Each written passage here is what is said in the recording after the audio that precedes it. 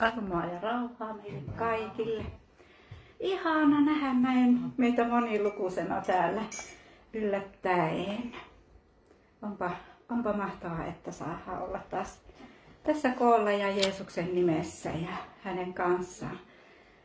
Hän on voimallinen meitä tänä iltana auttamaan ja, ja ilmaisemaan itsensä meille. On rukouksen ja sanan ilta ja tuota, Mäpä nyt kuitenkin aloitan pienellä Jumalan sanalla tästä ihan ensimmäiseksi annetaan hänelle puheenvuoro. Tuolta Mooseksen kirjasta ja Pietarien kirjasta otan muutamat sanat.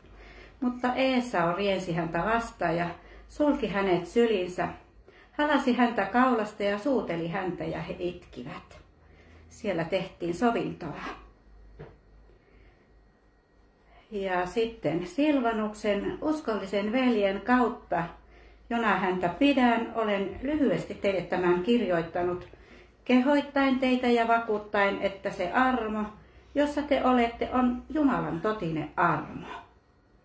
Tervehtikää toisianne rakkauden suun annolla. Ra- ainakin sanotaanko, että ainakin rakkauden sanoilla, eikö vaan?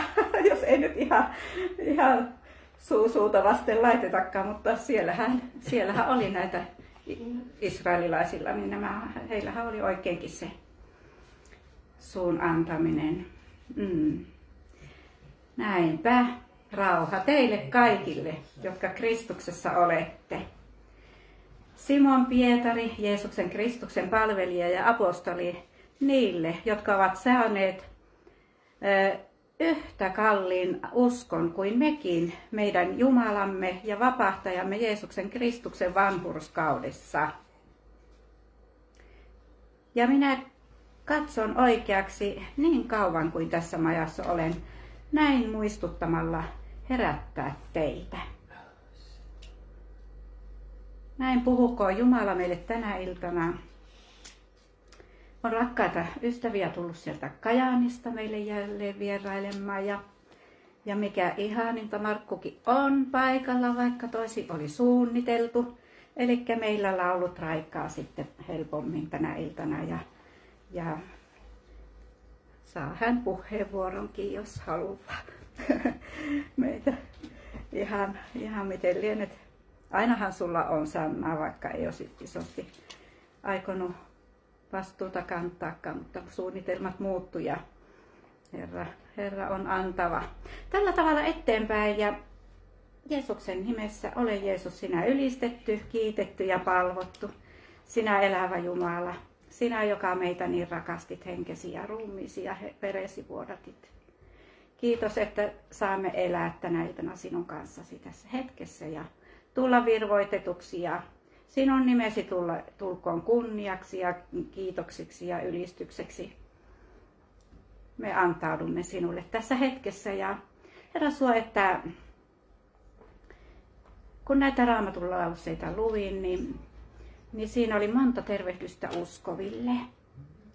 Herra, jos kuka ei vielä uskoasi ole saanut, niin pyytäisin, että antaisit sen lahjana tänä iltana jollekulle kuulijalle.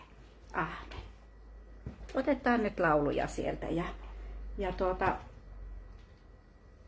no tässäpäs nyt onkin sitten miten Jorma, jatka sinä siitä sitten laulujen jälkeen. Joo, hyvä.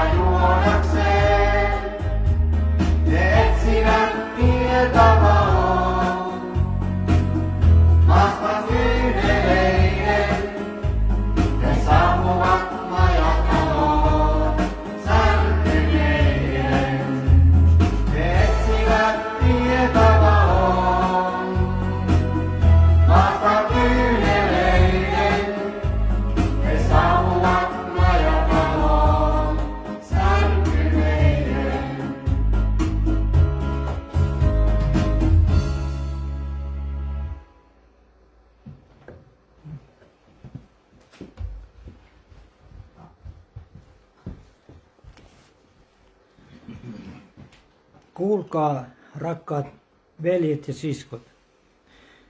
Jeesus voi antaa teidän syntinne anteeksi. Jokainen, joka uskoo hänen, vapautuu kaikesta syyllisyystä, mistä Mooseksen laki ei pysty ihmistä vapauttamaan, ja Jumala hyväksyy hänet lapsekseen. Ja nyt Erkki kertoo, minkälaista on mennä taivaallisiin häihin.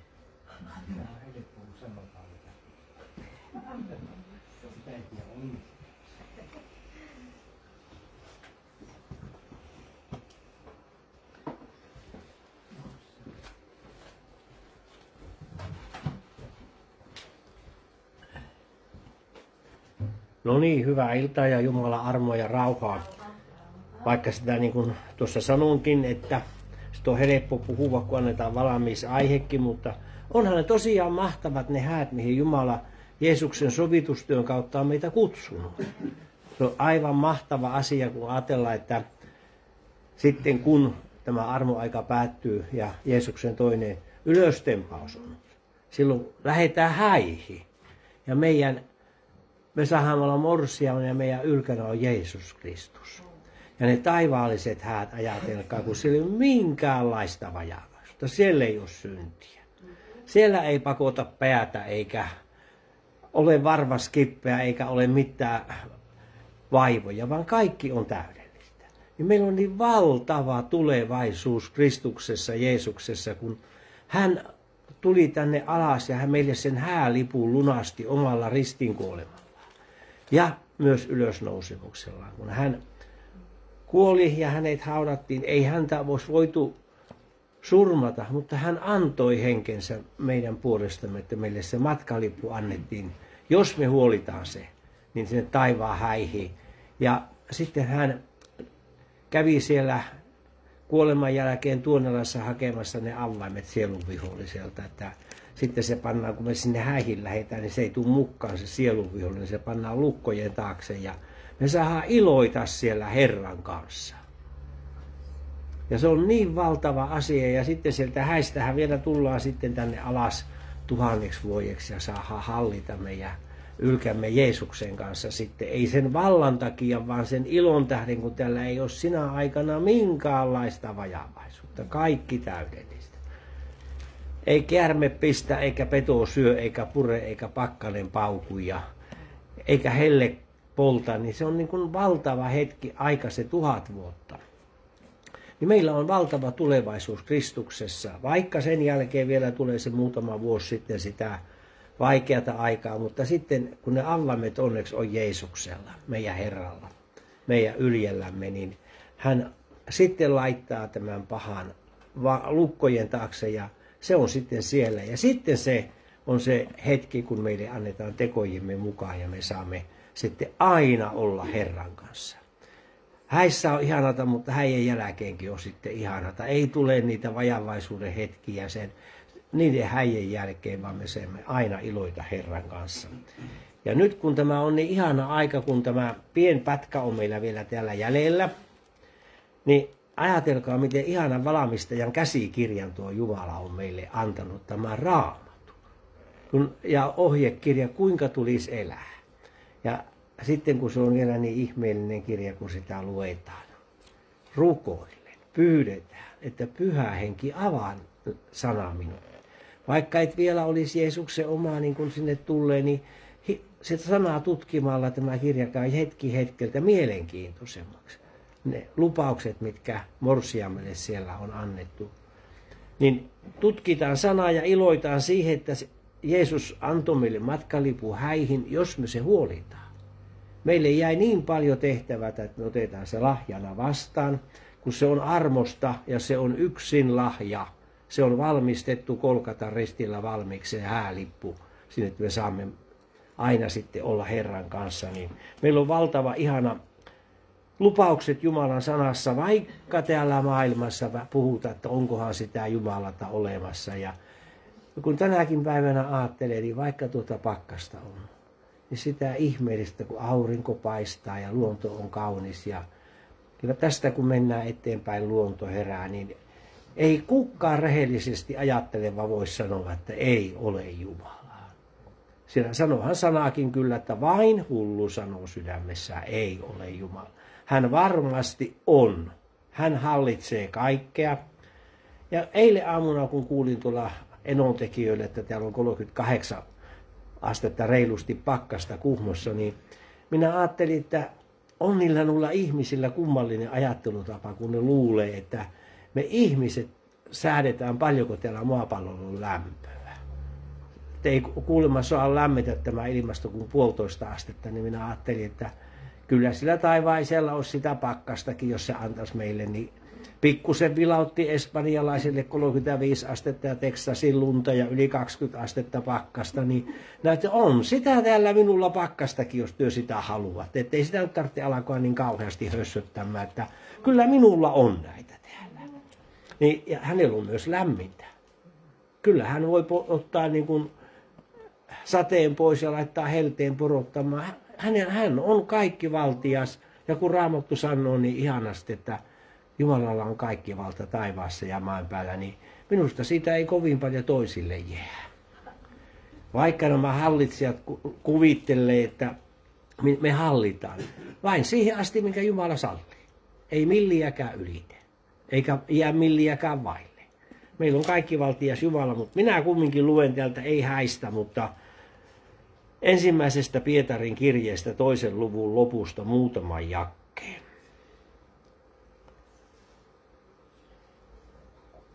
Sillä siihen te olette kutsutut, koska Kristuskin kärsi teidän puolestanne jättää teille esikuvan, että te noudattaisitte hänen jälkiänsä.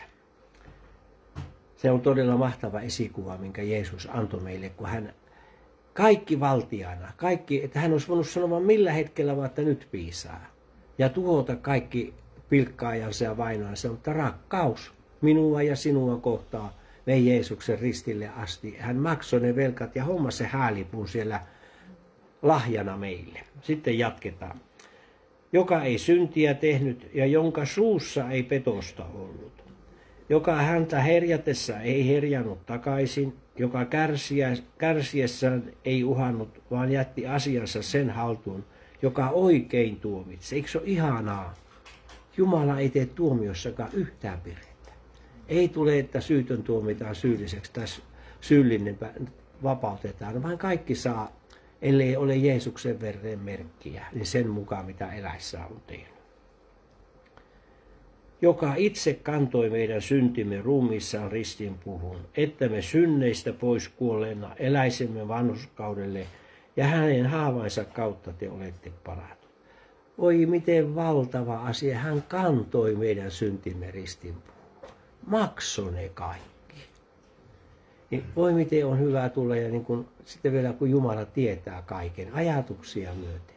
Ja hebrealaiskirja, niin kuin monasti sanoo, niin miten lohdullinen paikka siellä kymmenes luku, oliko se neljäs luku, meillä on lupaa tulla uskalluksella armoistuimen eteen. Niin ajatelkaapas nyt, kuinka turvallista on tulla sanomaan Jumalalle, että isä, minulle kävi näin. Kun hän tietää jo, anna ne anteeksi minulle, autatte enää lankea. Ja sitten vielä yksi jäi. Sillä te olitte eksyksissä niin kuin lampaat, mutta nyt te olette palanneet sielujenne paimenen ja kaitsijan tykö, kun me tullaan Jeesuksen luokse, niin hän on meidän sielujemme paimen. Ja hän haluaa nostaa kantaa ja pelastaa ja johdattaa perille. Ja mikä ihana sanalupaus vielä on, että vaikka me oltaisiin uskottavat, pysyy hän kuitenkin uskollisena, sillä itseänsä kieltää hän ei saata. Meillä on valtava ihana hylkä. Hänen kanssaan on turvallista tehdä haamatkaa. Siunaa.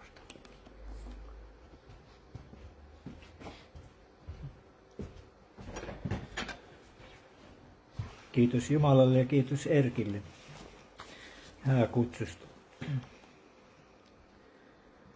Iloitkaa iloitsevien kanssa ja itkekää surevien kanssa. Viime torstaina minä sain ystävältä soiton. Hän sanoi näin, että hänen vaimonsa joutui yöllä kello kaksi ambulanssilla Kuopion sairaalaan. Tuolla pään sisällä oli verisuoni ruvennut vuotamaan.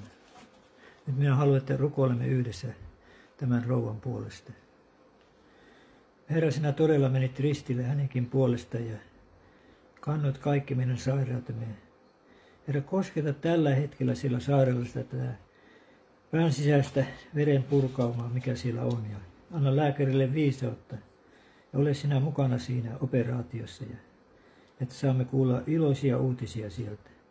Ole hänelle arvollinen nimessäsi. Amen. Jeesus kertoi vertauksen. Eräs mies järjesti suuret juhlat ja kutsui niihin paljon ihmisiä. Kun kaikki oli valmista, hän lähetti palvelijansa muistuttamaan vieraita, että nyt on heidän aika tulla. Mutta kaikilla oli verukkeita. Yksi sanoi ostaneensa juuri pellon, hänen piti mennä nyt katsomaan sitä. Toinen halusi kokeilla viittä härkäparia, jotka oli juuri ostanut. Joku oli mennyt vasta naimisiin eikä siksi voinut tulla. Palvelija palasi kertomaan isännälleen, mitä kutsutut olivat sanoneet. Isäntä suuttui ja käski hänen heti mennä kaupungin kaduille ja kuille hakemaan juhlien kerjäläisiä rampoja ja sokeita. Kun nämä oli tuotu sisään, talossa oli yhä tilaa. Lähde sitten maaseudulle ja pakota kaikki, jotka tien varsilla löydät, tulemaan tänne, että saamme talon täyteen isäntä käski. Tämä pakota alkukielellä tarkoittaa vaivata kutsuilla yhä uudestaan ja uudestaan. Muistan erään tapauksen tässä parikymmentä vuotta sitten. Tuolla Pohjois-Karjalassa asuin silloin ja mä erästä rouvaa pyysin vuoden aikana suunnilleen kerran viikossa, että etkö sinä voisi tulla meidän seurakuntaan kokoukseen. Hänellä oli aina pojalle ruokaa ja pyykit on pestävä ja lakanat viikattava ja sauna lämmitettävä. Joka kerran hän sanoi sen mulle vuoden aikana melkein joka viikko. Sitten hän eräänä päivänä sanoikin, että minäpä lähden nyt sinne. Ja samana iltana hän tuli uskoon. Ensimmäisessä kokouksessa. Ja sen jälkeen häntä ei tarvinnut koskaan houkutella mihinkään kokoukseen. Hän lähti vaikka Intokiinaan. Niin on totta. Se ensimmäinen kerta oli tosi vaikea. Se oli se kynnys hänen pään sisällä, joka, joka piti ylittää. Nyt Markku johtaa meitä laulun ja sitten Onni tulee kertomaan näistä häistä.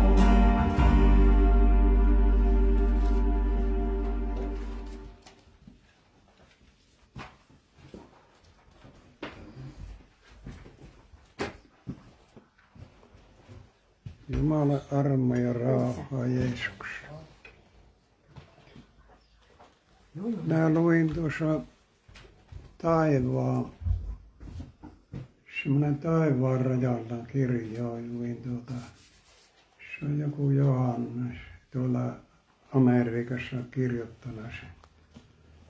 Sitä kirjaa luin tässä pari viikkoa sitten. Siinä oli käänneet niin taivaassa, kun niitä on lähtenyt siitä kolme tuhatta niitä on niitä kaikkia, joita noin haastatelleet siitä ihmistä. Että meillä olisi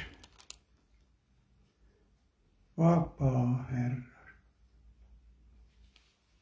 Sillä Jeesus on meidät lunastanut. Että meidän pukumme olisi puhas, kun me lähdetään sinne joskus täältä temmattaa. Mä näin tässä, siitä on nyt tuota viime kuun lopussa, kun mä tuolle siskon vielä aina soitan tuota aina, kun se sai uudistua. Siitä on aikaa 2005 yhtenä ke- kesänä tuolla. Me oltiin menossa tuonne Kuopioon tytön kanssa ja se meni sinne kunnon paikkaan sitten iltasella tyttö. Vein sitten. Sillä on lapsia sillä matkassa. Siellä se siskon mies tosiaan, niin se päivit oli tuota, oli parvekkeella istumassa kesähelle oli siinä. Mä menin sitten sinne parvekkeelle se siskonmiehen kanssa luokse ja rupesin puhumaan. Siskonmies sanoi, että vähän huonoja uutisia on hänellä. Mä sitten Jumalalla ei ole huonoja uutisia mikään. Se antaa aina hyviä uutisia. Minä olen saanut käydä siellä taivaassa muutamia kertoja. Yhdellä, siitä on neljä vai viisi vuotta aikaa, kun minä kävin yhtenä syksynä muutamia kertoja siinä ihan muutaman viikon aikana tosiaan. Että me olisi valmiita silloin, kun lähdetään täältä. Että meidät Jumala murtas oikein, meidät oikein rakkauden käsin. Että meillä olisi se puku puhas.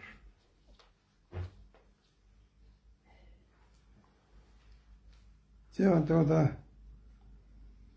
minä olen saanut kokea sitä Jumalan rakkautta aina. Ja se silloin sillä siskon miehellä tuo eturaas syö. Se sitten antoi elämänsä Jeesukselle sinä päivänä, kun me käytiin. Sitten, kun sillä on aina helmikuussa se syntymäpäivä, 26. Minä aina siskolle soitin sinne sitten ja Eskolla on sulle asiat. Mä että liikkaan tuu pahemmaksi mennä. Minä sain silloin, kun minä rukkoilin sitä e- sen Eskon puolesta. Mä sain sanoa, että nyt ei ole yhtään syöpäsoluja. Esko siinä tosiaan, kun mä puolen vuoden päästä soitin sinne. Kun Eeva, Eeva sanoi, että Eskolla on asiat. Mä ajattelin, niin Jumala oli koskettanut ja parantanut sen. Ei ollut löytynyt yhtään syöpäsuutta. Kun me luotamme siihen Jeesuksen ristukseen, sieltä tulee apu. Niin se on minuakin koskettanut. Minä sain nähdä tässä tosiaan nyt. Minut otettiin, oli semmoinen ihmeellinen, minä nousin ilmaan ja kieri ensin ja sitten siinä oli minun lapset, tuota minä sillä armille sanoin, että hei hei, minä vilkutin siinä. Ja sitten minulle tuli sana siinä sitten, kun vanhin tyttö oli, niin minä sanoin, että Askolla ja Siljalle sinun pitää tuota sanoi, että näin me leijaillaan tuota ilmassa sitten. Sitten minä menin sitten sinne päämääreen. Minä lensin kauniin järven yli sieltä ja se oli hieno maisema. Siihen minä sitten lopulta heräsin sitten silloin aamuna. Että Jumala meitä rakastaa ja se pyyhkii meiltä kyyneletti meidän silmistä, kun meiltä särkyy se sydän oikein. Minä monasti murru aina, kun joskus tuli raamatun sana joku. Minä sain kokea, miten Jumala rakastaa meitä paljon. Se on antanut meidän puolesta se henkensä ja siellä on lyöty 40 melkein 39 piiska iskua niin selkään. Se on meidän takia siinä lyöty. Että meillä on rakkaa, rakastava Jumala. Pukeutukaa uuteen, joka uudistuu tieton luojan kuvan mukaisesti. että me uutistusta oikein pukumme oikein taivaallisella rakkaudella ja viisaudella. jos meillä on joskus murhetta, mutta minulle on Jumala sanonut, että heittäkää murheenne hänen päälle. Hän pitää meistä huoli. Niin se on minun, niin aina pitää heittää kaikki murheet. En minä tuota, minun poikas sairasti silloin 40, 94. Poika sanoi, että mikä hänessä on tuolla. Oli semmoinen pahka tuolla. Mentiin sitten tuota lääkäriin. He ottivat sieltä kilpireastakoon, kun näyttää.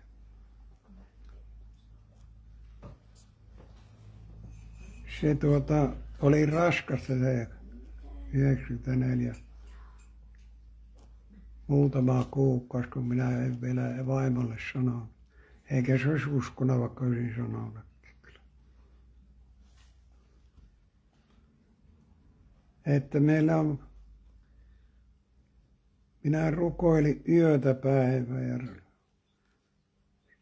kun minä sitten sieltä lää, näin, kun se otti sen kilpiraahan, sillä ultraäänellä pyöritteli tuossa kaalassa. Näin, että miten paasi on se lävinä se. Kiitos Herralle, että sitten kun oli ensimmäisellä kertaa leikattu se ja kahden viikon päästä uudestaan leikattiin. Otettiin kaikki kilpiraukset pois. Mulle sanottiin siinä Kajanin kirkon kohdalla, että nyt ei ole enää syöpäsoluja yhtään. Että meillä olisi Jumalan rakkaus siinä meillä, että tulisi, me älyttäisi tehdä sitä parannusta, niin kuin tuollakin, joka menee vaikka Kiinaan tämä puhe, niin siellä tekisivät parannusta ne ihmiset Jeesuksen nimessä. Tulisivat tuntemaan sen Jeesuksen Kristuksen rakkauden, mikä sitä on. Kyllä se sitä on, että kaksi viikkoa, kun minä olin koulussa, niin oli täällä seminaarta opettaja. Meillä joka kuukausi kahdesti, kolmasti tuli uusi opettaja. Se yksi puhuu kiinan, laalettiin kiinan kielellä yksi viikko melkein, niitä lauluja sain kokea siinä, että miten Jumala lähettää ne semmoisen saarnamiehen. Minä sain kokea, miten Jumala puhuu minulle silloin. Että me oltaisiin nöyriä Jumala edessä. Niin kuin tuossa laulussa oli, että särje minun syömäni. Jeesus että meillä olisi Jumalan rakkaus ja viisaus. Sieltä se tulee apu, tulee joka hetki sieltä taivaasta. Niin täällä ilmestyskirjassa sanotaan,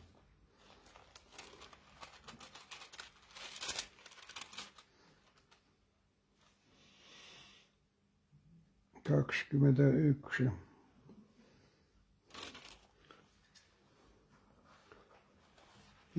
Neljäs päällä. Ja hän pyyhkii kaikki kyyneleet heidän silmistään, eikä kuolemaa ole enää oleva. Ei murhetta, ei parkkua, ei kipua ole enää oleva, sillä kaikki entinen on mennyt ja valtaistumelle istuva sanoi, katso, uutiksi minä teen kaikki. Ja hän sanoi, kirjoita, sillä nämä sanat on vakaat ja totea. Ja hän sanoi minulle, se on to, tapahtunut. Minä olen A ja O, alku ja loppu. Minä annan Janovalle elävää vettä lähte, lähteen lahjaksi. Se on elävää, mikä sieltä taivasta tulee, se vesi. Se puhistaa meidän sydämme. Se. Niin se on minun sydämen puhistaja. Nyt tulee, tuli maaliskuun huomenna, niin tänä päivänä on minun uutisi, uusistui silloin 76. Että siitä on jo näin pitkä. Jumala on meitä rakastanut niin pitkä. Kiitos Herralle, että me saamme jättää sinun käteesi kaikki. Aamen.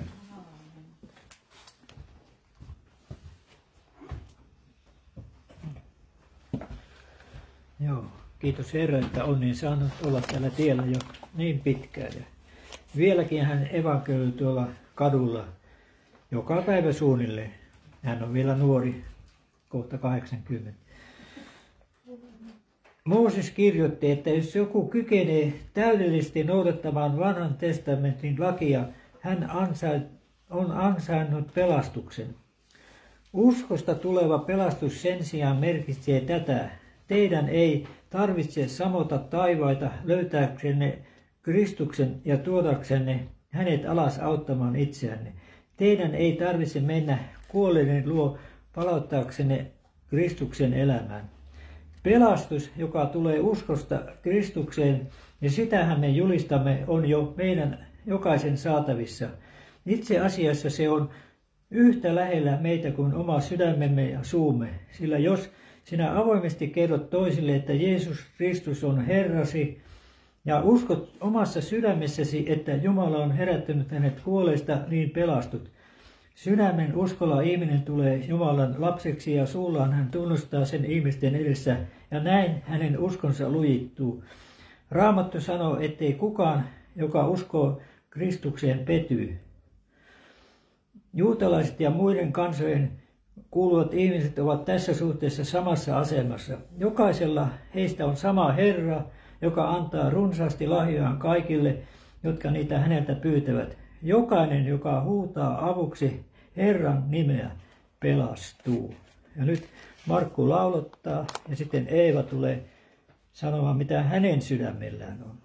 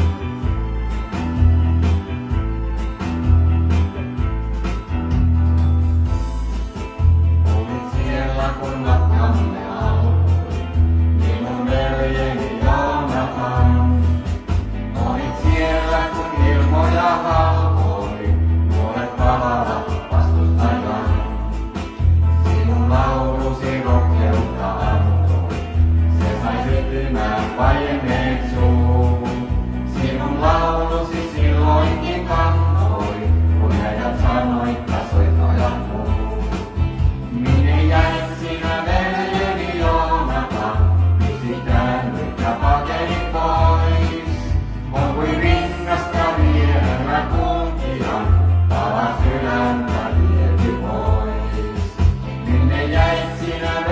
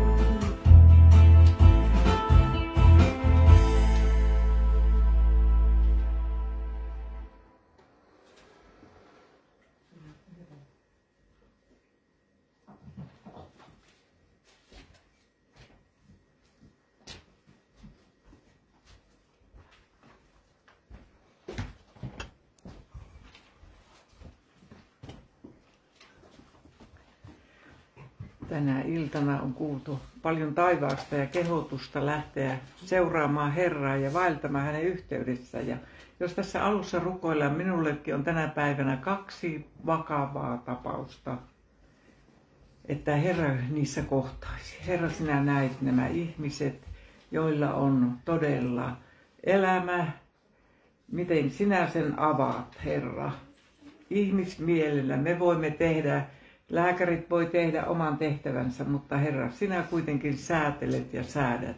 Herra, ilmesty näiden ihmisten elämään.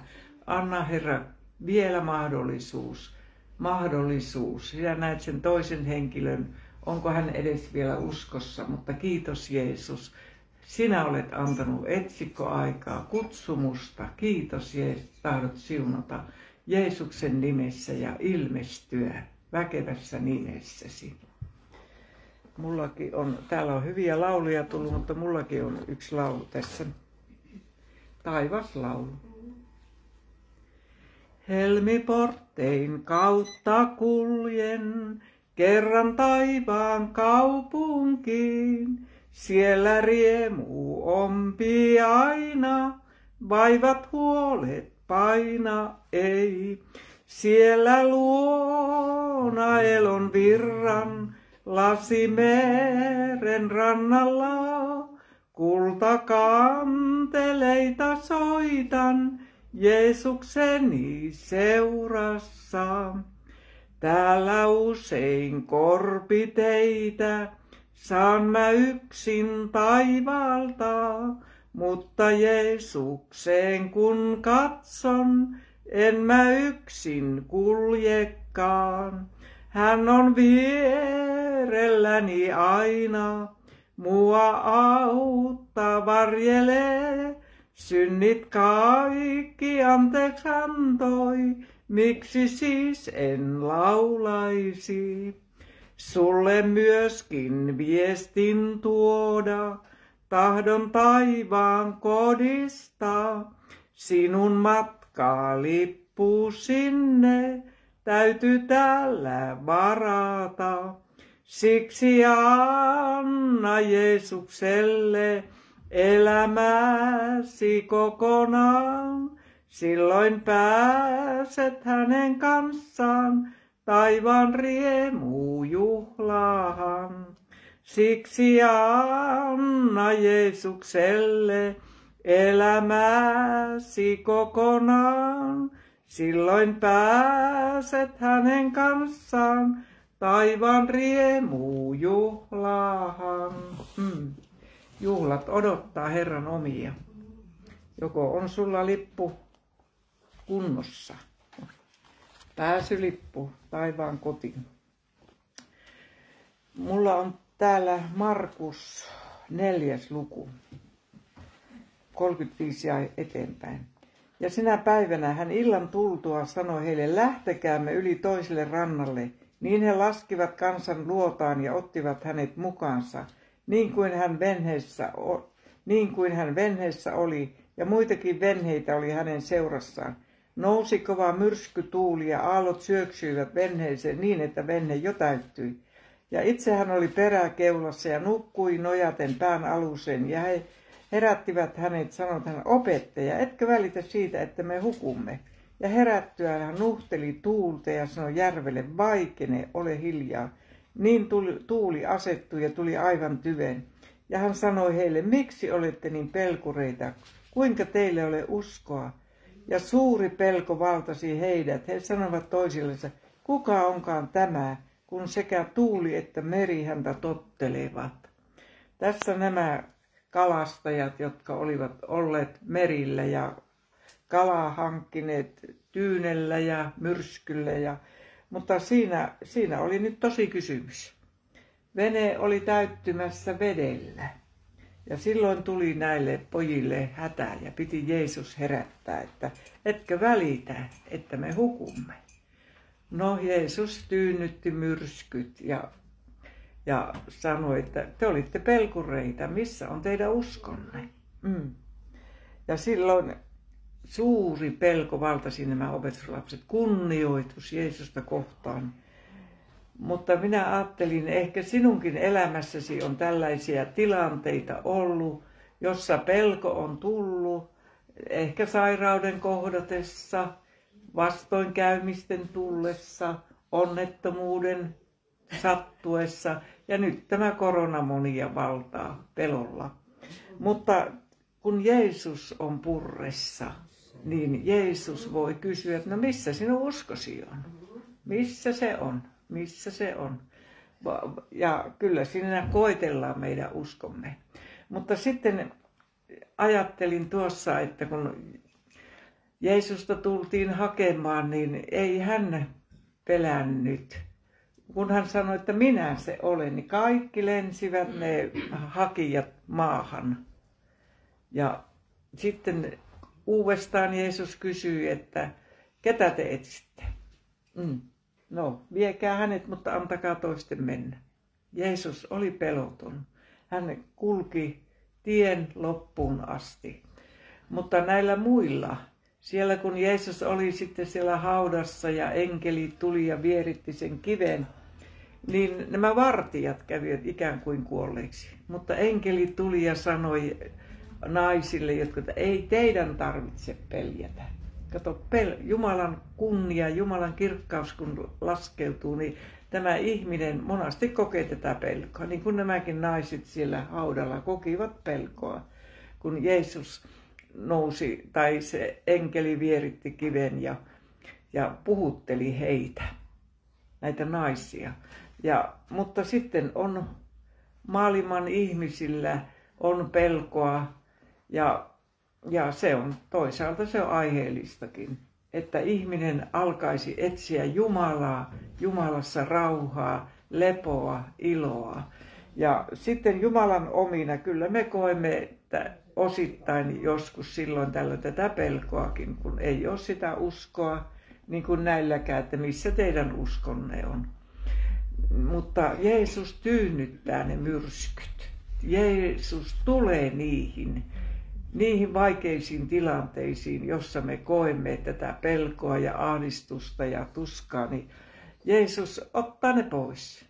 Ottaa ne pois, vaikkei ehkä hetken, niin kuin tuosta lehdestä ennen tänne lähtöä luin, niin siinä oli tämä nainen, kertoi, että hän itki, häntä oli leikelty ja hän oli sairas ja hän itki Jumalan edessä, hän itki ja valitti, että miksi et sinä Herra paranna minua, miksi?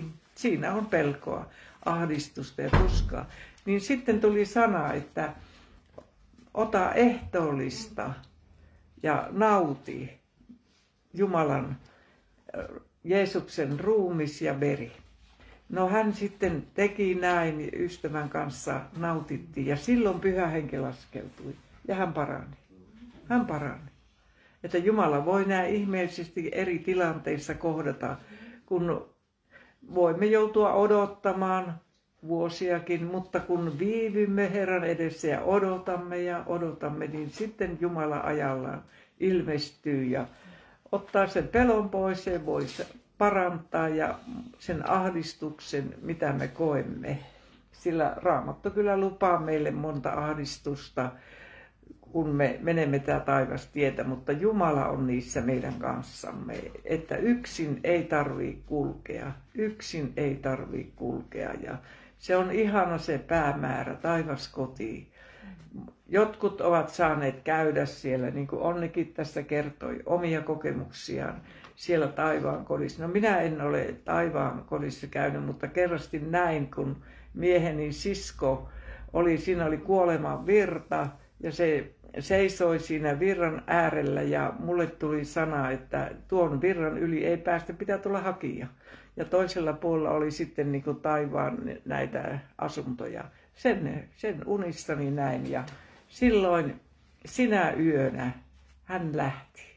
Hän oli uskova. Hän lähti. Hänelle tuli hakija. Ja hän sai mennä sinne taivaan kotiin.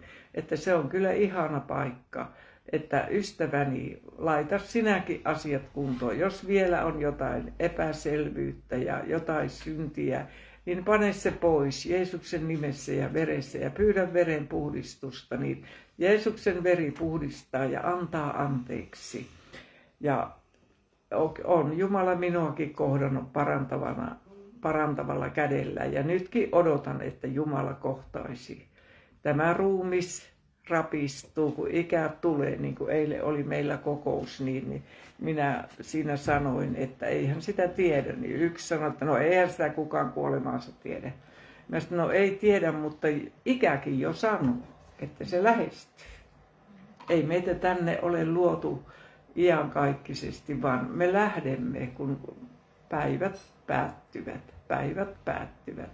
Ja sinäkin ystäväni et tiedä, koska sinun päiväsi päättyvät, Herra. Ja siksi olkaamme valmiit, olkaamme odottavina, rukoilkaamme ja etsikäämme Jumalan kasvoja, niin hän haluaa kyllä ilmestyä ja antaa synnit anteeksi ja rauhan sydämeen ja sitten saamme kulkea tätä kaitaa tietä, käsi Jeesuksen kädessä.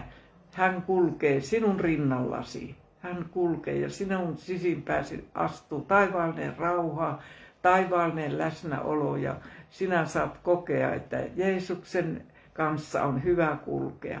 Hänen kanssaan on hyvä astua. Näitä maisia matkoja, jopa niitä korpima, korpimaisemiakin, ja, mutta välillä pääsemme todella juhlanmakuunkin jo täällä alhaalla ja sitten kerran perille, jossa juhlat ei lopu koskaan.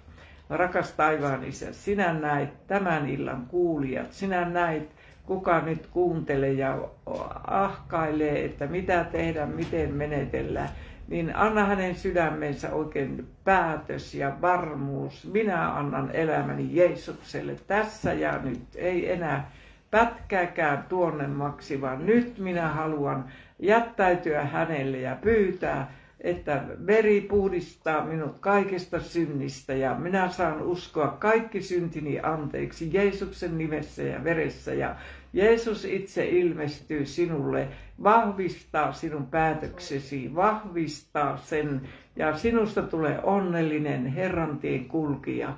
Kiitos rakas Jeesus, että kuulet tämänkin pyynnön, Herra, ja haluat vastata ihmiselle, joka etsii sinun armoasi, etsii sinun apuasi ja siunaa tämä tilaisuus nyt loppuun asti. Siunaa laulut ja siunaa puheet ja siunaa ystävät, jotka kuuntelevat. Kiitos Jeesus, että rakastat meitä kaikkia ja haluat, että me kerran olisimme siellä taivaallisissa häissä. Kunnia Herra sinun pyhälle nimellesi, Isä, Poika ja Pyhä Henki, Jeesuksen nimessä. Aamen.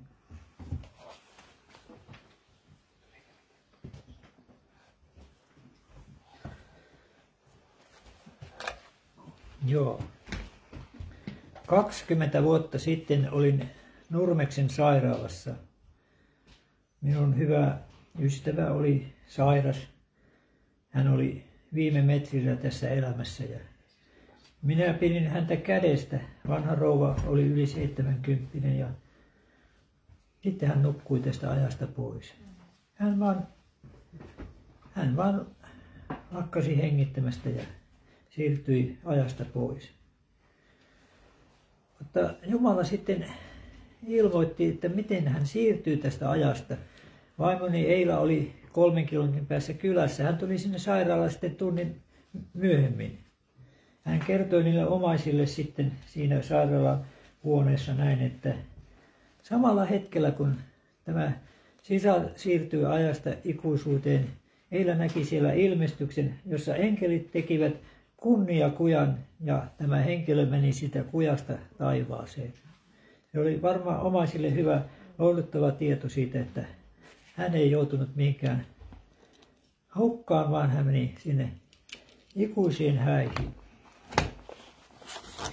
Meillä elämässä ei kaikki ole tietysti aina hyvin, voi olla huonoja päiviä. Olen opettanut näille maahanmuuttajille Kajanissa, että kun kysytään, että miten menee, niin että sanokaa vain, että siinähän se. Että siinähän se. Nyt ne osaa sanoa, että siinähän se menee. Niin kuin jäitä polttisi ja tervässä uisi, jos sanotaan niin kuin eteenpäin. Näin sanoo Herra, parantumaton on vammasi, kipeä on saamasi isku. Näitä iskujahan kyllä tulee. Joskus voi tulla ihan tutultakin iskuja. Ja ystävän iskut ovat kuulemma suloisia, varsinkin kun iskee tuonne lapalluiden väliin puukon ja kiertää vielä sitten, anteeksi mä luulin, että olet vihollinen. Jollakin on niin herkkä tämä liipasin sormi, että se ampuu ennen kuin kysyy, että oletko sinä vihollinen. Ei kukaan aja sinun asiasi, haavasi ei paranta, se ei kasva umpeen. Haavojahan tulee monella tavalla. Joku voi sinua haavoittaa, mutta sinun pitää antaa anteeksi. Se on joskus aika vaikea antaa anteeksi, jos se on oikein haavoitettu, mutta se vaan pitää antaa. Ei sen tähden, että hän olisi ansainnut sen anteeksi annon, vaan sen tähden, että sinä saisit rauhan. Koska sinun sielusi ei tule rauhalliseksi, jos sinulla on anteeksi antamatonta mieltä. Sinä haudut vaikka kostoa sille. Herran on kosto, sanoo raamattu. Meidän kosto voi olla vähän huono. Voit sen kostaa, on yksi paikka raamatassa. Minä muistan, kun Helsingissä kerran puhuin erässä seurakunnassa. Minä pidin minuutin tauon pidin nyrkkiä tässä. Mulla on, mulla on yksi paikka, mä saan kostaa sille, joka mulle tölvii minua. Täällä lukee näin, että kosta sinä pahaa hyvällä. Ainut kosta. Kokeile sitä, niin se pyytää sulta anteeksi, rupeaa itkemään. Mutta sinun haavesi minä kasvatan umpeen, minä parannan sinun vammasi, sanoo Herra, koska sinua kutsutaan hyljetyksi sellaisesta, jota kukaan ei kaipaa. Jumala ei sinua koskaan tule hylkäämään, ei ikinä. Hän on sinut luonut. Hän kateuteen asti rakastaa sitä henkeä, joka on sinun laittanut. Hän haluaa nähdä kerran sinut taivaassa. Mutta taivaassa ei pääse muuta kuin parannuksen teolla. Kadotukseen pääsee tekemättä mitään. Mieti näitä asioita ja Tämä voi olla sinun uudesti syntymisen päivä. Se on liian helpoksi tehty oikeastaan tämä juttu, että pyydät vain Jeesus anna syntini anteeksi. Eihän sinä tarvi käydä edes vaatekaupassa ostamaan uutta pukua tai käydä suihkussa ennen. Ei. Ryöväri ei osaa edes kunnolla rukoilla. Pyytit Jeesus muista minua, kun menet sinne valtakuntaasi. Jeesus tänään olet jo paratiisissa. Niin. Tämä tehtiin aika yksinkertaisesti, mutta me ihmiset luulevat, että se vaatii monenlaista ponnistusta. Ei. Mutta vihollinen on ovella. Sillä on kaksi asetta, jotka käyttää meitä vastaan. Pelko ja häpeä. Näillä se voi alistaa meidät ihan nurkkaan sillä tavalla, että ne uskaltaa edes kunnolla hengittää. Ole se, mikä olet. Et sinä mikään muu voi olla kuin sinä, joka sinut on luotu. Jumalan kuva. Jos et usko, että olet Jumalan kuva, osta uusi peili. Ja nyt Markku laulattaa meitä.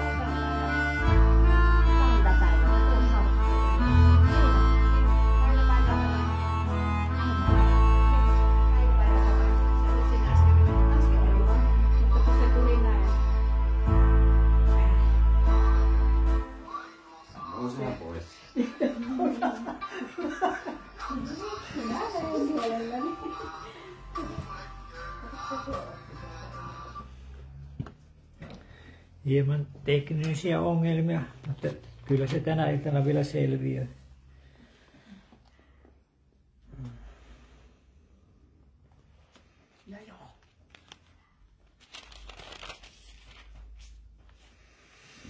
Miksi et anna rikostani anteeksi, et ole pois syyllisyyttäni?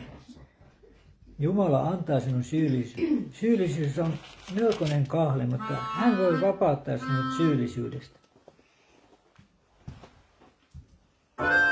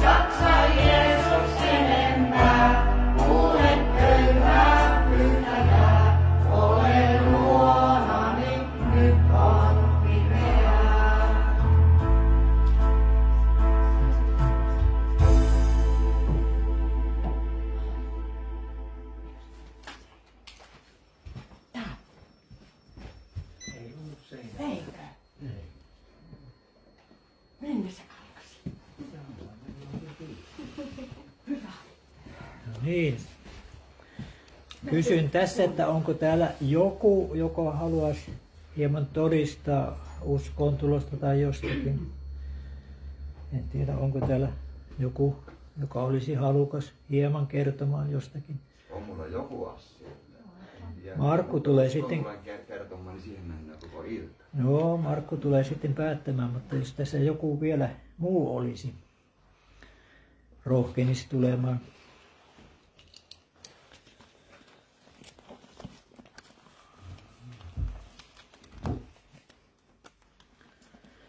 Mutta Jumalan armosta minä olen se, mikä olen, eikä hänen armonsa minua kohtaan ole turha. Olen tehnyt enemmän töitä kuin kukaan heistä, en tosin minä, vaan Jumalan armo, joka on ollut minun kanssani. Tässä Paavali kertoo itsestään. Ja hän kokee joskus olevansa aivan toivoton. Hän lankeaa aina tekemään jotakin syntiä, mitä ei halua. Hän tekee pahaa, mitä ei halua. Hän on sitten aivan, aivan toivotun välillä, mutta sitten hän löytää tämän armon. Armo on ihmeellinen. Se on todella ihmeellinen Jumalan armo. Luen täältä kuitenkin roomalaiskirjasta hieman. Miten siis on? Saammeko tehdä syntiä, koska emme ole lain, vaan armon alaisia? Emme tietenkään. Ettekö tiedä, että ketä palvelemaan ja tottelemaan te antaudutte, sen orjia te olette, joko synnin orjia kuolemaksi tai kuuliaisuuden vanhuskaudeksi. Mutta kiitos Jumalalle, että te, jotka ennen olitte synnin orjia, olette tulleet sydämestänne kuuliaisiksi sille opetuksen muodolle, jonka johdosta teidät on annettu. Ja että synnistä vapautettuna teistä on tullut vanhuskauden palvelijoita. Kun olitte synninoria, olitte vapaata vanhuskaudesta, minkä hedelmän te siitä silloin saitte? Sen, mitä nyt häpeätte, sillä sen loppu on kuolema. Mutta nyt, kun olette synnistä vapautettuja, teistä on tullut Jumalan palvelijoita, teidän hedelmänne on pyhitys ja sen loppu on iankaikkinen elämä. Sillä synnin palkka on kuolema, mutta Jumalan armolahja on iankaikkinen elämä Kristuksessa Jeesuksessa, meidän Herrassamme. Ja Markku vetää tämän sitten yhteen tai kahteen, tämän lopun.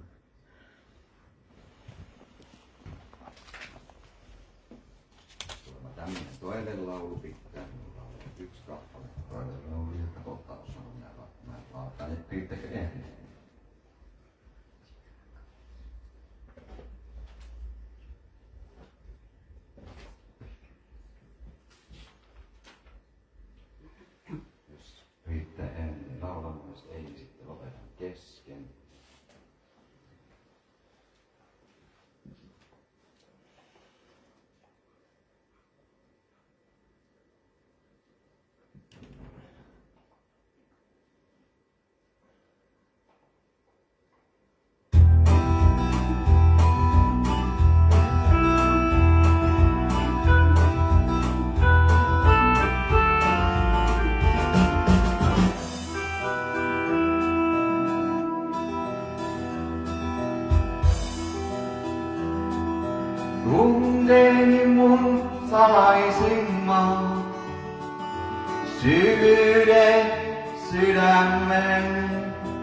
Kaikki mieleni oikut ja vimma, ikävä ihmisten. Roskiinko kaiken vain kaahan, vaiko piilotan sisimpään? Taakkani alla vain raadan, luottaako voin mihinkään?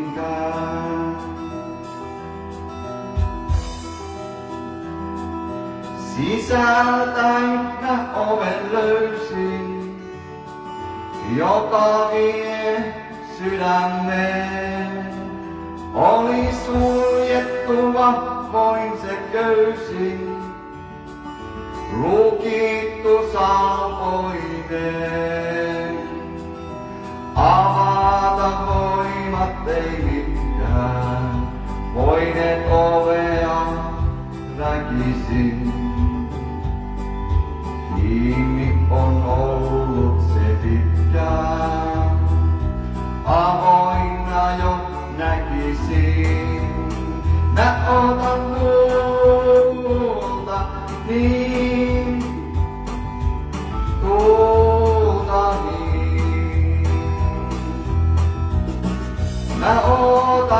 Tulta taivaisiin.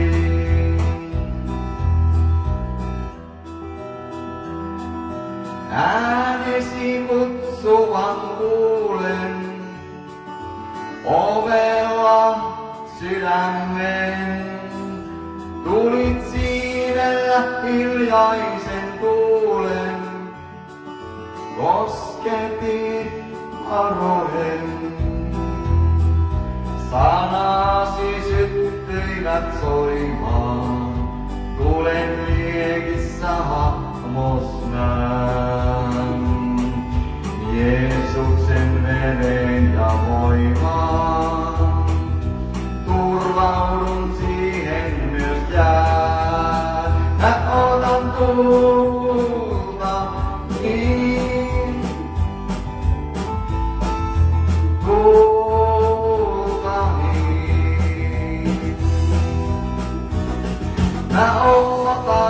otan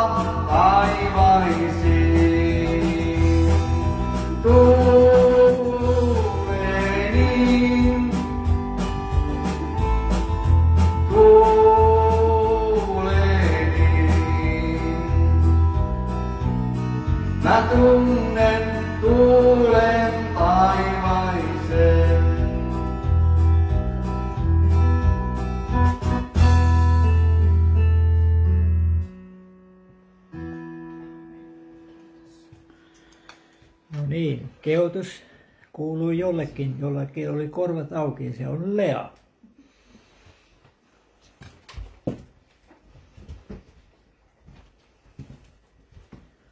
Tuosta laulusta tuli sydämelle vastaluettu kohta täältä korkea veisusta.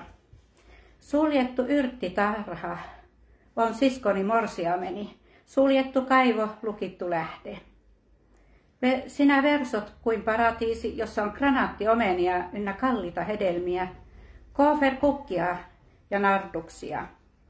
Nardusta ja sahramia, kalmoruokoa ja kanelia, ynnä kaikkinaisia suitsukepuita, mirhaa ja olaeta, aloeta, ynnä kaikkinaisia parhaita balsamikasveja. kasveja. Sinä olet yrttitarhojen lähde, elävien vetten kaivo, Libanonilta virtaavaisten. Ei ole paljon ihania asioita, mitä voi uskovassa olla ja Jeesuksessa on, kun hän asuu meissä. Herää ja pohjatuuli, tule etelätuuli, puhalla yrtti tarhaani, että sen palsamituoksut tulvahtaisivat. Tulkoon puutarhaansa rakkaani ja syököön sen kallita hedelmiä. Minä tulen yrttitarhaani siskoni, morsiameni. Minä poimin mirhani ja palsamini. Minä syön mesileipäni ja hunajani. Juon viinini ja maitoni. Syökää ystävät, juokaa ja juopukaa rakkaudesta. Männöö pitkä. Ei Minä lyhyen ennen sitä. Myöhä vaan. Minä leikkaan sitä sitten. Puukolla puukolla. Minä leikkoon 70 prosenttia pois, niin sitä. Ei se. Se piti vasta puolelta tulla. Niin ja minun piti puolelta tulla vasta.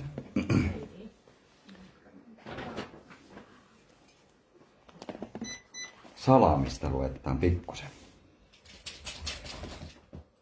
Minä kiitän sinua siitä, että olen tehty ylen ihmeellisesti. Ihmeelliset ovat sinun tekosi, sen minun sieluni kyllä tietää. tietää. Minun luuni eivät olleet sinulta salatut, kun minut salassa valmistettiin, kun minut taiten tehtiin maan syvyyksissä. Sinun silmäsi näkivät minut jo idussani. Minun päiväni olivat määrätyt ja kirjoitetut kaikki sinun kirjaasi, ennen kuin ainoakaan niistä oli tullut. Mustikan kokoisesta ja pienemmästä. Mutta kuinka kalliit ovat minulle sinun ajatuksesi, Jumala, kuinka suuri on niiden luku. Salmin kirjoittaja pohtii siinä, että kuinka, mitä hän niin kuin Jumalan tahto hänelle merkittee tai hänen elämässään merkittee. Ja tuossa, jos Hosean kirjasta luetaan sitten lisää, tämmöinen pikkuinen ajatus. Israelin ylpeys syyttää häntä vasten silmiä ja Israel ja Efraim kompastuvat syntivelkaansa. Myös Juuda kompastui heidän kanssaan. Lampainensa ja raavainensa he tulevat etsiäkseen Herraa, mutta eivät löydä. He tulevat sinne hengelliset saavutukset ja uhraukset, joihin nojaten tulevat Jumala ette, että on mulla tätä ja mulla on tätä ja kerta kaikkiaan tämä on hyvä näin. Sitten esitellään sitä erinomaisuutta. Mutta onko se Jumalan ajatus? Kuinka kalliit ovat Jumala sinun ajatuksesi? Jeesuksen aikana siellä oli sitten opetuslapsia, jotka oli tällä periaatteella ja mentaliteetilla liikkeellä. Jeesus lähetti 70 opetuslasta ja sanoi, menkää, minä lähetän teidät niin kuin lampaat susien keskelle. Ja kun tulette taloon, niin sanokaa rauhaa tälle talolle. Se saattoi olla räyhä ja mahoton mekkala. Ja, ja, ja kun ovet nämä 70, siis jotka Jeesus valitsi, menivät sinne talloon ja nykäisivät oven auki, rauha tälle talolle, niin rauha laskeutui. Ja sitten että joo, ei me tuommoisen hihuleita oteta menkää matkoihin. Ja ove manttiin kiinni, niin kahta kauheampi metakka kuului takkoon. Ja sitten he parantelivat sairaat ja herättelivät kuolleita, puhdistivat pitallissia ja kun tuli vastaan semmoinen hullu mies hullu, niin kuin joskus sanottu, että hullu mies huittisista, kun oikein oli viimeisen päälle hullu. Niin meuhasivat ja pauhasivat siellä ja nämä sitten ajoivat kaikki ne ulos ja siellä oli vapaata porukkaa sen jälkeen ja onnellista porukkaa ja ihmiset ihmettelivat, että no on tämä kumma kaarti. 70 ukkoa, ei mitään erinäköistä vähemmän oppineita ja enemmän oppineita ja vähemmän sivistyneitä ja enemmän sivistyneitä. Ja Jeesus sanoi sitten näin, että joka kuulee teitä, se kuulee minua, joka hylkää teidät, hylkää minut, mutta joka minut hylkää, hylkää hänet, joka minun lähettänyt. Ja näillä sanoilla ne meni ja sitten julistivat, monet ottis vastaan sen sanan. Niin ne 70 pallaa sitten iloten Jeesukselle, jes, meillä on kyllä valtava juttu, minä tein sitä ja minä tein tätä ja minä näin tuota. Minä oli seitsemännessä taivaassa ja kahdeksannessa kadotuksessa ja mulla oli sitä ja tätä ja tuota ja mahottomat, kato, ansioluettelot on jo nyt matkassa, kun me tullaan Jeesus sinun luoksesi. Niin Jeesus sanoo sitten, kun nämä 70 pallaa iloten, että Herran riivaajatkin ovat meidän alamaiset. Monta riivaajaa lähti. Valtavia ihmettekoja tehtiin. Oli kyllä mahtava juttu. Jeesus sanoi sitten, että näin, että minä näin saatanan lankeavan taivasta niin kuin salaman. Sen kehun myötä riivajatkin ovat meidän alamaisia, niin saatana laskeutukin alas. Ja se voi laskeutua ja julistaa saarrapöntöstäkin sen tänä päivänä. Oletko koskaan pysähtynyt tämmöisessä ajatuksessa? Kuinka kallis on Jumala sinun ajatuksesi minulle? Tämä oli Jumalan ajatus. Jeesus sanoi näin, minä olen antanut teille vallan tallata käärmeitä, se oli totta, skorpionia ja kaikkea vihollisen voimaa, eikä mikään ole teitä vahingoittava. Älkää kuitenkaan siitä iloitko, että henget ovat teille alamaiset, vaan iloitkaa siitä, että teidän nimenne ovat kirjoitettuna taivaassa. Ja se on mahtava todistaa silläkin, että kun Herran oma olen ainoastaan voimasta veren. Ei tarvitse paljon puhullisesti. Kyllä minä voisin teille kertoa monta ihmettä ja ihmeitä kerronin, mutta se ei ole sitä varten, että riivaajat on ollut alamaisia. Minä olen nähnyt, kun riivaja lähtee huu, tuota niin, puhuu ensinnäkin kauniin tytön ruumissa miehen tavon. Ja sen takia, että minun nimi on elämänkirjassa ja Jeesus on mukana siinä hetkessä, niin Jeesus vapauttaa tuon ihmisen. Ja se rupeaa puhumaan naisinkin äänellä taas. Ja oli käynyt aikaisemminkin ja tullut sitten semmoiseen tilanteeseen. Minä en kerskaa sillä. Mutta se on tärkeintä, että nimi on elämänkirjassa. Se on niin kaikista tärkeintä. Koska jos se ei näin ole, niin me tehdään uskon, tästä uskosta Jeesuksen uskonto. Ja siitä pian tullut uskonnollinen moralismi, missä aletaan vaatia, että sun pitää olla niin kuin minä, niin sitten tapahtuu. Se on kuolettava tila. Eipä ollut kallis Jumalan ajatus, jos uskonnollisuus voitti. Kristin usko ensi alkuun se ei ollut uskonto. Uskotko? Se oli ei-uskonto. Se ei ollut uskonto. Se oli ei-uskonto. Kun uskonto siihen aikaan oli temppelit, urut, harttauvet, rituaalit, muotomenot, ynnä muut semmoset tämmöiset tuommoiset. Oli pitkät kaavut ja kauhtanat ja kepit ja sauvat. Ja oli kaikki mahdollinen. Ja hiljainen hyminä urkuparve ja alttari välillä. Ja sitten tötteröt tässä näin ja kipat päällä ja kaikki tämmöinen. Se oli sitä uskontoa. Ja sitten nämä 70 menne ihan tämmöisiä tavallisia räjässiä niin kuin minäkin. Piirrättää menne ja riivaajatkin alamaissa. Uskonto oli se temppelit, urut, hartavet, rituaalit, muotomenot ja niin edelleen. Kristityt sanovat, kun roomalaiset kyseli, ei meillä ole temppeliä eikä rituaalia, meillä on vain elämä. Missäs pappinne sitten on, kyseli roomalaiset. Missäs pappinne sitten työskentelevät? Alku seurakunnan kristityt sanoo, ei meillä ole pappeja, eikä meillä ole temppeleitä. Me itse olemme temppeleitä ja me itse olemme pappeja. Ja Jeesus on ylipappi. Missäs on sitten uhrit ja annit? No, Jeesus oli uhri. No voi voi teitä, sanoi roomalaiset. Niinpä roomalaiset alkoivat kutsua kristittyjä ateistiksi, koska he eivät uskonneet siihen uskontaan. Vaan he, heillä oli ihan erilainen juttu. Te olette ateisteja. Kun teillä ei ole sitä, eikä ole tätä, eikä tuota. Te olette ateisteja. Filippiläisille Paavali kirjoittaa. Minkä takia minä tälläkin on puhunut? Koska yksi viisas saarnamies sanoi, että puhu aina niin kuin puhuisit kaikista vanhimmalle kristitylle. Ja sillä keinon, kun jos pystyt semmoisen raamatun opetuksen tuomaan, että vanhinkin kristitty, pitkänkin uskossa olleen, saa sitä jotakin uutta, niin siellä myöskin se, joka ei ikinä ole kuullut Jumalasta, Herää, hei tuota minäkin haluan. Ne on meidän vaatimukset kyllä kuulleet aikaan sitten, eikö totta? Mutta eivät sitä, mitä meillä on muuta antaa kuin se hiljainen hyminä sunnuntaina. Tai riehakas meno lauantai-iltana. Jos meillä on jotakin muuta antaa, elävä elämä, niin vaihtaa. Olisiko meidän aika vaihtaa mieltä? Se se on niin aika hassu homma. Ottaa aivot pihalle ja harjoita juuriharjalla puhteeksi ja pääskata takaisin. Filippiläiskirja kolme ja kolmessa sanoo.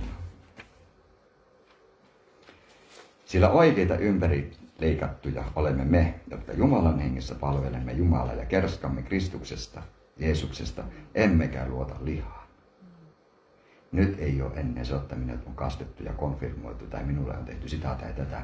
Ei, vaan minä kerskaan Jeesuksesta, Kristuksesta. Enkä luota siihen, riivaajatkin ovat minulle alamaiset, kun minä sitä, kun minä tätä, kun minä tuota. Saatana on jo langennut taivaasta, kun ja ihastuu kuuntelemaan semmoista itsekeskistä omaa hyvästä julistusta. Oikein niin kuin taputtaa karvasia käsiä, että hyvä poika, jatketaan tuota rattaa. Vaikka minulla on mihin luottaa lihassakin, jos kuka muu luulee voivansa luottaa lihaan, niin minä voin vielä enemmän. Minä, joka olen ympärileikattu kahdeksan päiväisenä, tai sitten lapsikastettu. Olen israelilainen, Israelin kansaa. Jotkut on tulleet sanoa, että joo, minä se on juutalainen. Minä on sitten sanonut, että joo, minä olen neljännes ryssä tai neljännes juutalainen. Jotta en tiedä, tai sitten mustalainen. Mutta neljännes minussa on semmoista verta, joka ei ole suomalainen. Ja minun mummoni on ollut aika pieni ja musta ihminen. Ja salakuljetettu Venäjältä ja kaukkaa. Pitkin polkuja yöhämässä talutettu sieltä. Kuka tietää hänen syntyperänsä? Joku vain oli tietävinnen, että hänen juurensa päättyy siihen, kun hänet on tuotu tänne, eikä sitä aikaisempaa juttua tiedä, että hän on joko voinut olla Venäjän juutalainen tai Venäjän ja sitten romani. Sitä ei tiedä, mutta pieni ja tummanainen se on. En kerskaa sille, koska minä tiedän, että tämä, mistä minä mukaan kerskaisin, jää tänne ja jos joku päivä horsmaa kasvaa. Minän tilalle, vaihdetaanko minän tilalle Jeesus? Apostoli kerskasi tässä, mitenkä hän niin kuin oli kerta kaikki ja viimeisen päälle niin kuin Minä olen leikattu kahdeksan päiväisenä. Olen Israelin kansaa, Benjaminin sukukunta, hebrealainen, hebrealaisista syntynyt, lakiin nähden fariseus, intoon nähden seurakunnan vaino ja laimio vanhurskauteen nähden, nähden nuhteeton. Kuka meistä se on? Ei kukaan. Mutta hän oli nuhteeton vielä. Siis niin kakarasta pitäen elänyt täydellistä elämää melkein kuin Jeesus. Mutta tämä kaikki, mikä oli minulle voitto, sen minä olen Kristuksen tähden lukenut tappioksi. Niinpä minä luen ka- kaikki tappiokseni tuon ylen kalliin Kristuksen Jeesuksen minun Herrani tuntemisen rinnalla, sillä hänen tähtensä minä olen menettänyt ihan kaikki ja pidän sen roskana, että voittaisin omakseni Kristuksen. Paavali sanoo tälläkin, no sitten vielä jossakin kohtaa, että sanoo, että minusta on tullut tunkio. Aika hyvä nimi apostolilla, tunkio, kaiken maailman tunkio. Mm. Piti Jonni joutavana. Vaihdetaanko mieltä täydelliseen tilalle vain matka sitä kohti? Tiukkapipoisuuden tilalle vaihdetaan armo ja rakkaus, täyteinen sydän. Kelepäisko? Joo, mä oon hyvä siitä suvultani. Minun suku on semmoinen ja tämmöinen. Se on Suomessa hyvin hyvä kerskaus. Minun isä, isä, iso, iso isäni oli sitä ja tätä. Hmm. Minullakin niin neljännessä, viidennessä sukupolvessa oleva haverissi, jotka on pikkusen parempia varmaan suvulta kuin huotarit. Ja minä vain noustan nyt kato yhden tiiliskerroksen päälle, että minulla on vähän parempaa sukua. Ja sitten jos siellä, siellä vielä mummoni puolelta satun olemaan joko hebrealaista tai romaanisukukunta, niin minä taas saan nousta tiilen päälle siis. Minä saan olla parempi sukua. Minä saan olla kuninkaallista papista. Omaisuus kanssa. Amen. Ei suku, vaan kansalaisuus, sanoo apostolit. He olivat Jumalan, Kristuksen kanssa perillisiä taivaanmaan kansalaisia. Hengellisen työn paljous ei ollut se, millä Paavali kerskasi. Se oli roskaa. Ja kun luetaan, minut havaittaisin olevan, tässä on kultaa meille kaikille. Havaittaisin olevan hänessä omistavan, ei omaa hurskautta, vanhurskautta, sitä joka laista tulee, vaan sen, joka tulee Kristukseen uskon kautta. Sen vanhurskauden, joka tulee Jumalasta uskon perusteella. Tunteaksiin niin hänet ja hänen ylösnousemisensa voiman, hänen kärsimystensä osallisuuden tullessani hänen kaltaisekseen samanlaisen kuoleman kautta. Ja niinpä hän sitten tässä jo ennustaa oma kuolemansa, että kuule näin käy, että minutkin lynkattaa.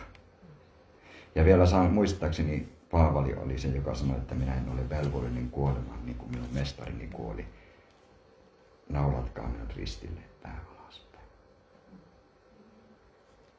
Mitä sanot, vaihdetaanko mieltä? Se, mistä me kerskattiin hetki sitten omassa elämässämme. Sanotaankin, että joo, eipä se ollut juuri minkään arvosta siihen. Kristuksen, Jeesuksen, kaikki valtiaan, Jumalan Jumalan ainosyntyisen pojan tuntemisen rinnalla. Kyllä minä voisin kertoa syöpäsairaastakin, jolta lähti nappulat rinnasta, vaikka, tai molemmista rinnosta, vaikka en minä tuota kovin kummoisesti rukkoa ne oli älyttömän epäuskopallassa. Minä jo toivon, että kunhan ei kukkaa tulisi. Mutta kun minä tunsin Jeesuksen, minä uskalsin tietämättä mistä kiittää siitä, mitä Jumalan henki tekee siinä. Ajattele, jos minä sanon näin, että kiitos Jeesus siitä, mitä sinun lähettämä pyhä henkisi tekee juuri nyt. Minä kysyn, miten paljon siinä on minua? Kerro.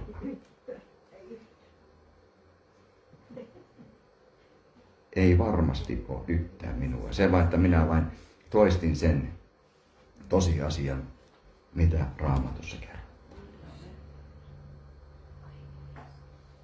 Tähän olisi oikeastaan pieni henkilökohtainen todistuspaikka. Tuletko kertomaan? En, minä nimittäin en kerskaa lihasta, mutta siitä, että Jumala kuitenkin tahtoo, että hänelle kuuluu kunnia kaikesta, mitä hän tekee.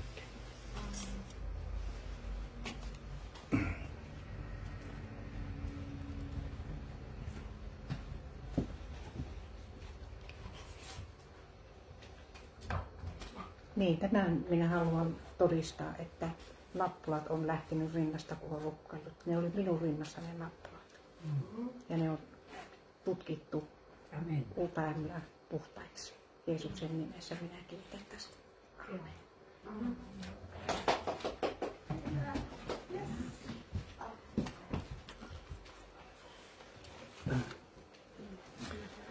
Herra, me kiitämme tästä illasta ja kaikista hyvästä, mitä olet tehnyt meidän puolesta ristillä. Ja sinä, joka olit synnitön, menit synniksi meidän tähtemme. Ja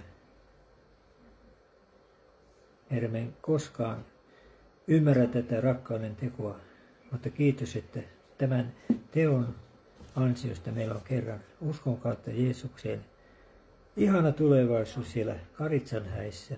Olkaa siunattua Jeesuksen nimessä. Amen.